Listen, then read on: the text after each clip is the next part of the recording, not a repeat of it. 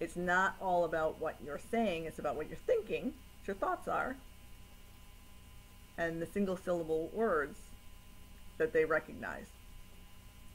Now, I recommend a two syllable word for a dog's name to help you with that. I have seen many people with dogs, you know, called Bob, Rob, you know, whatever, that have trouble training their dogs. Because what happens is, well, you're you're still in those one syllables. You're not calling my name. Is that my name? Are you sure that's my name? And then when you only say that name without, you know, good good Bob, bad Bob, you just say Bob, well then it's then it can be recognized. And of course, over time, the dog will recognize that that's its name. But when you have a family and you're bringing a new animal in, you have this whole new dynamic. And it's like adopting a child. You have to teach.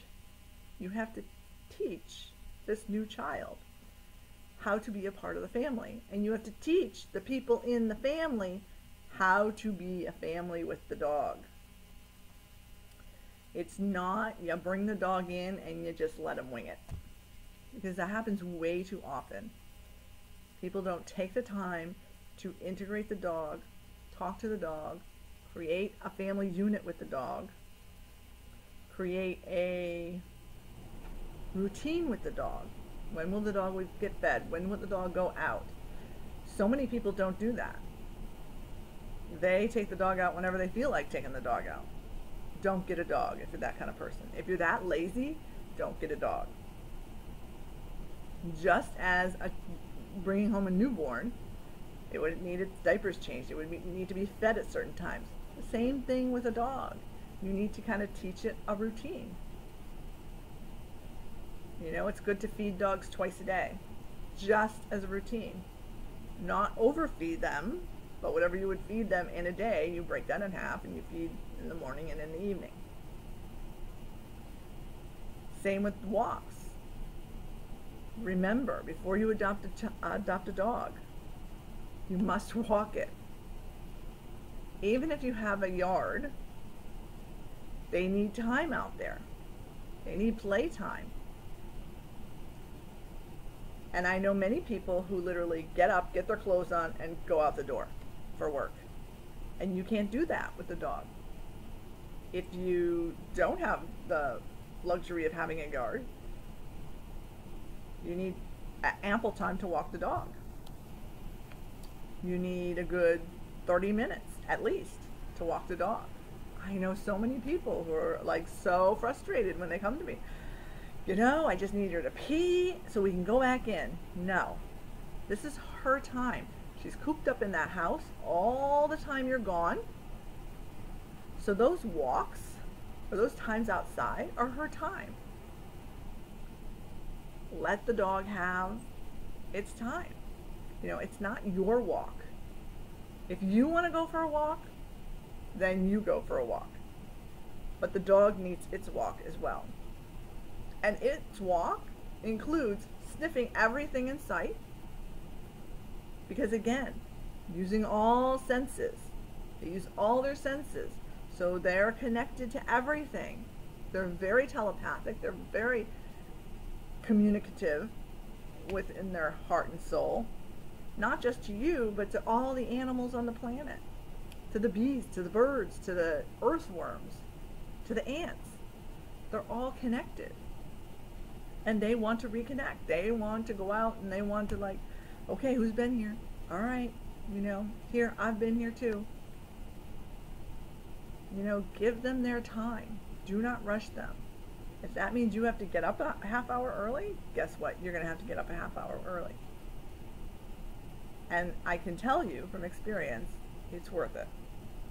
It is so worth it to take that extra time to just let your dog lead you on the walk. And just see how good you feel by the time you leave for work. Just that time in nature is amazing. Now, if you're someone who has a yard, please do not just be the kind of person who opens the door, lets the dog out, goes, takes a shower, does everything, and then goes back, gets the dog, and then leaves. Give yourself 15 minutes to have a cup of coffee. If you don't drink co- coffee, have breakfast. And go sit outside while the dog plays. Have a little interaction.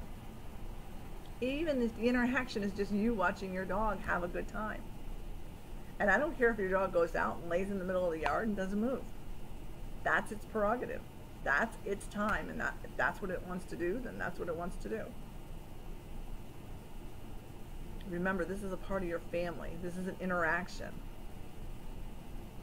So back to receiving the dog. Again, everybody be on the ground in the play area with the pet and let the dog come to you guys. Let make sure the dog goes to each person. Now, oh my God, um, 15, almost 18 years ago, my last dog, Snoopy, we got him from a pet store. And yes, I would not recommend buying a dog in a pet store. This was through a friend who owned the pet store. The dog was actually purchased for um, breeding, show dog, and something was physically wrong with it um, internally, so it had to be fixed. So it could not be a show dog. And so she called me because she knew I was looking for a dog. And so we went and looked, and of course, we loved it. But when we were in the play area, even though the dog came directly to me first, I picked up the dog and turned it around and kind of let it go back out. Now, it was a puppy, it was, you know, 12 weeks old a puppy and I let him go back out and go meet my nephews and go meet my brother because they were we were all living in the same home at the same time. So even though we were having different lives, we were still a family unit because we lived under one roof. So everybody was there and everybody was picking to see if this dog would be a fit. And the dog came up gave everyone a kiss and came back to me. Probably because I was the one paying. So you just you let the dog make sure it likes everybody. Make sure there's an interaction there, and make sure every human likes the dog. If one person does not get along, there's going to be strife. Now, if you're at a county shelter and the dog has not been previously fixed, you obviously have to wait till the dog is fixed before you can pick it up and take it home. If that happens, if you have to leave the pet, once they take the dog back and put it in its cage, as a family, go back to where the dog is, sit in front of the cage, talk to it, say, okay, this is what has to be done. We well, we can't we can't take you home until tomorrow. They won't let us you have to have a little procedure and as soon as that's done, we'll be here to pick you up. And then when you go back to pick up the animal, when you see it, they'll recognize you. And believe me, everything you say, the dog's going to understand. So when you go back, if the dog is still in its cage and like maybe they can't get to you right away, go over there. You know, just go and kind of hang out in front of the cage and, and say, we're here, we're waiting. You know, they're going to get everything for you. If you brought, you know, of course, bring a leash, a, call, a harness, a collar.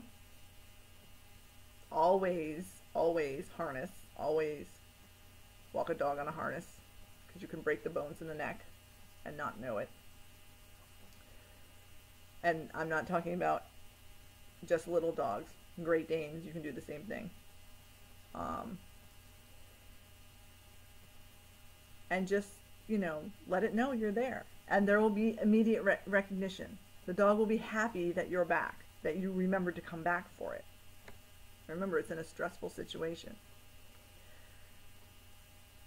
If you're lucky enough that, you know, the dog was already fixed and you get to take the dog home right away, perfect.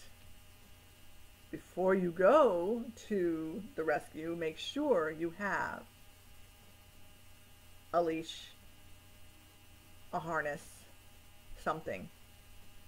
Now, if you're saying, well, how do I know because I don't know what size dog I'm getting? Then what you do is you tell the dog, I have to go to the store and I have to get you stuff and then I'll be right back. And that's literally what you do. You go to the pet store, you get the proper size,